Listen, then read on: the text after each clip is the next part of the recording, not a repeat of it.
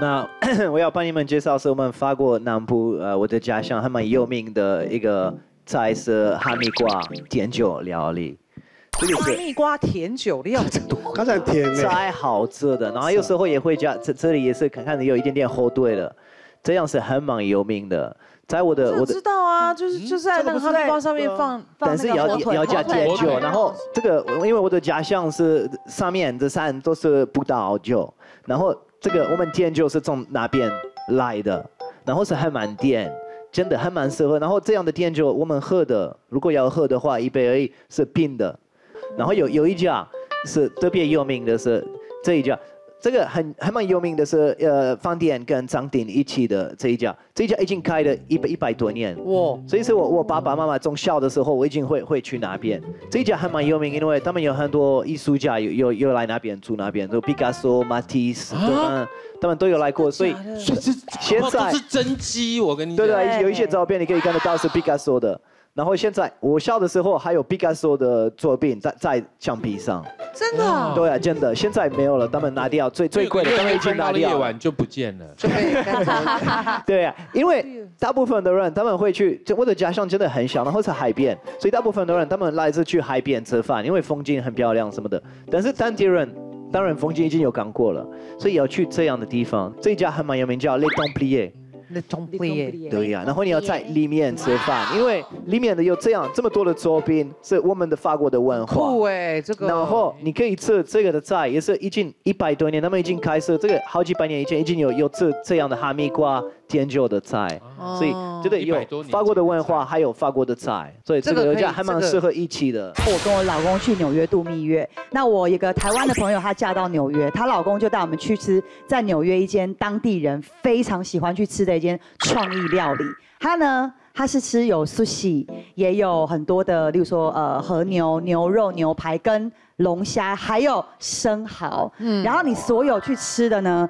那个主厨他都可以帮你配，然后这个呢很厉害哦，这个照片它是那个我记得是 O Otoro，然后你要吃的时候，你就用你的小汤匙，它会付给你，然后你就刮下来，然后下面有好多种口味的配料，你就可以一边吃一边配你喜欢吃的配料，好酷哦非常的新鲜，而且一点腥味都没有。然后呢，他们还有那个哦。这个是牛肉，它牛肉也是呃铁盘热的，然后直接煎，然后你要看你吃几分熟都可以。嗯，还有那个哦，这是扇贝，它的扇贝很可爱，它是呃它是用扇呃底下是用类似那种甘草的味道，直接在下面火烤，所以它在火烤的时候，它整个的那个呃木材跟那个甘草的味道全部都往旁边这样飘出来。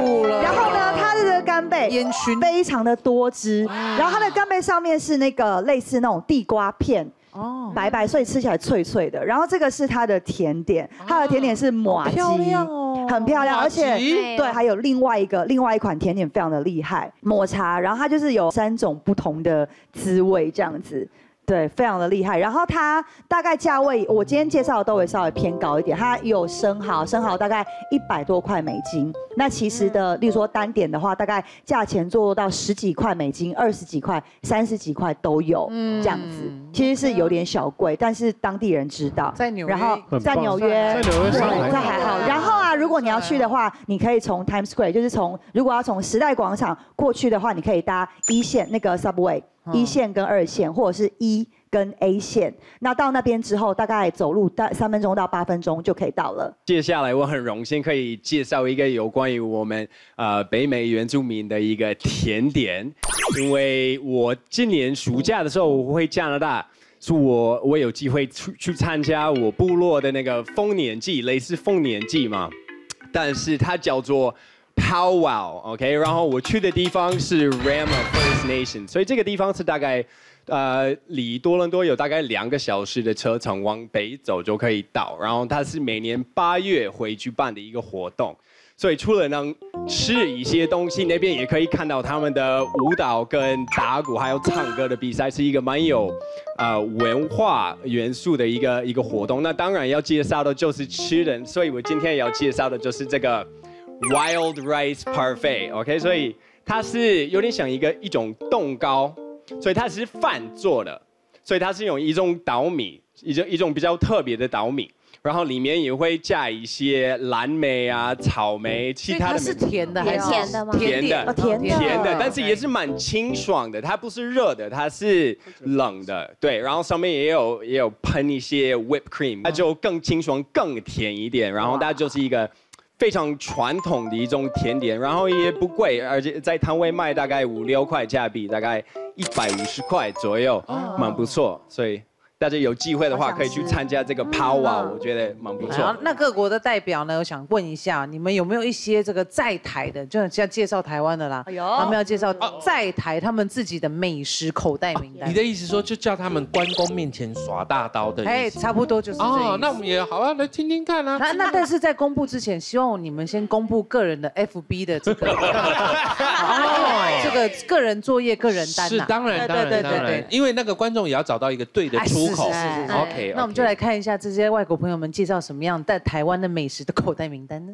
对，我要介绍一个我特别从礁溪带过来的熏鸡。哦，所以已经冷冷掉了，对不对？没，我就知道你一定要讲这个 只不过我跟你说，这个熏鸡是需要吃冷的。哦，对 OK 它第一个就是那个黑皮的的那个的台湾的土鸡，从哦东，那个鸡很 happy，很 happy。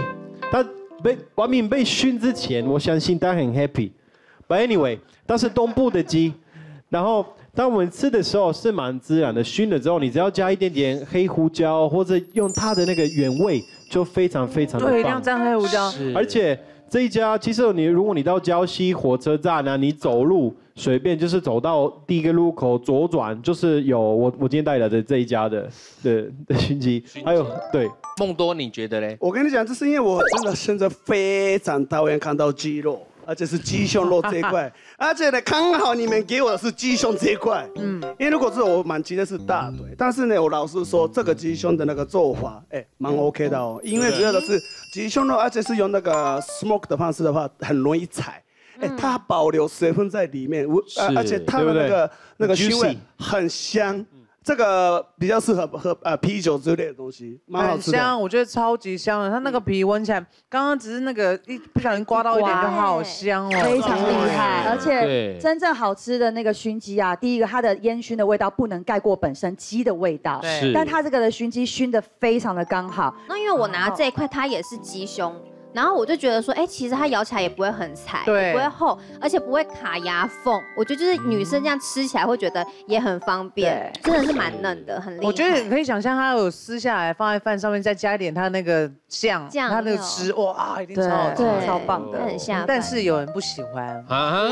阿龙跟对啊 Tasha 都不喜欢。怎么了，我龙觉得，其实因为这个鸡肉是冷的，其实我喜欢它的皮，因为它有那个熏味嘛。但是这感觉有点像昨天吃的鸡肉放在冰箱再拿出来吃，就有一点干。可是我觉得这个就是冷掉还是很好吃，是不是而且还是还是我很是很喜欢。对，所以那些宜兰的乡亲朋友们，你们知道要去谁的脸书骂人喽？没有，因为有些鸡有很多是什么那个白斩鸡也是吃冷的啊。对对对，都是吃冷的很。棒啊！没有，我是喜欢这个鸡肉，我也觉得蛮好吃的，我也觉得很 OK。它虽然是冰的，我也很爱吃冰的。可是重点来了，台北有很多家跟它差不多，还有比它更好吃，所以我觉得没有必要跑到那么远，他住在那边，他就是。他住在那边排呀，他就是他的事，这不关我的事。他住哪里，对不起。可是。哦我觉得如果就是人家给我推荐，我不会像去宜兰买这么这么这么远，我就会去东区买。嗯对，因为我也知道东区有。啊，如果你人已经到了宜兰呢？没关系，我可以吃更特别的东西，就是只有宜兰有的哦，因为这个就是什么地方都有。OK，哦那我们就想知道啦，Tasha 这个哈歪嘴鸡嗯到底 介绍的是什么啊，呢？对对对对对介。绍的就是真的很特别，真的台北才有的，而且就是不只是我一个人说的特别好吃的一家餐厅，这个是我。呃，去士林的时候就常常会吃这这家餐厅，它的它有非常多的不一样的台菜，而且这些台菜又好吃又不贵。就是我第一次去的时候，是我男朋友妈妈给我介绍的。我到了，因为我我就是 Google 看一下，我就发现哦，这一家餐厅就是得了米其林一颗星。我就是想说，应该是很贵，因为米其林餐厅都很哪一家啊？金叉来，对，我就会想说，就是应该很贵，所以我就非常的紧张，因为我在门口看，就是也有就是放就是那个米其林的公告，天哪！可是我一进去我就发现，其实不用担心了，真的不贵。呃，最推荐的就是这个排骨，这个非常非常好的好吃的，它不会太干，也不排骨会太酥，排骨酥。它不会太干，也不会太油，而且如果你就是用这样子，就是拿那个骨头，你就就是这个肉它自己会裂开，所以它处理的非常非常的好，你就不需要要啃这个骨头。嗯，因为我真的不喜欢就是有骨头的东西，可是这个是不一样的。各位觉得如何？喜欢吗？大家觉得？阿龙也不喜欢。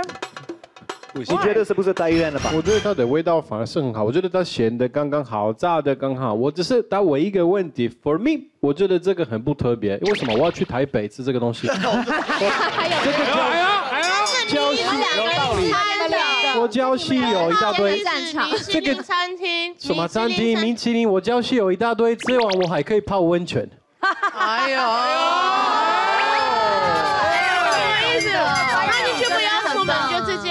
在在家里。我觉得大小跟吴总很棒，两个充分的示范了多么幼稚的吵架。对，真的。对，但但是真的，梦东你不喜欢，就太油了。然后那个主要的是他，那你为什么啃到剩下骨头，啃得这么干净溜溜？因为我很久没有吃那么油的东西啊。我是刚刚减肥完之后，哎，第一口哎蛮好吃的，但是就是很容易油腻，就其实它这就是很油。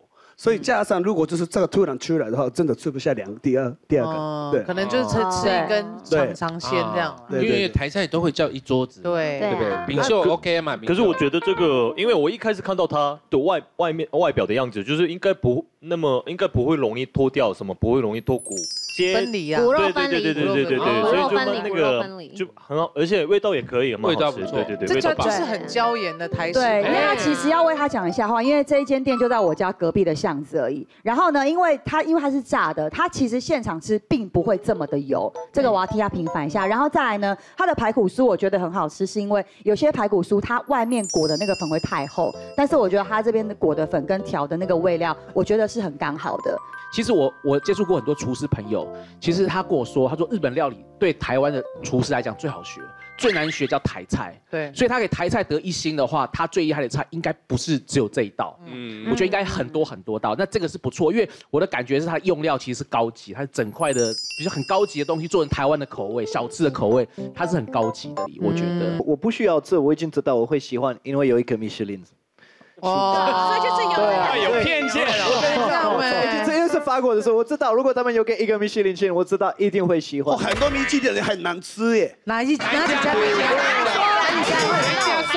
说讲出来吧，没有没有没有没有没有所谓的观众朋友不要踩雷。没有没有没有，这个我这个是不方便好，。那就讲一家就好。我跟你讲，一家这是什么？那个什么？哦，有一家在卖章鱼烧的，对不对？不是，那是，而且我没有入选米其林，好不好？哦，FNZ 场的观众大家好，谢谢大家对喜南的支持。记得订阅我们的 YouTube 频道，收看最新影片。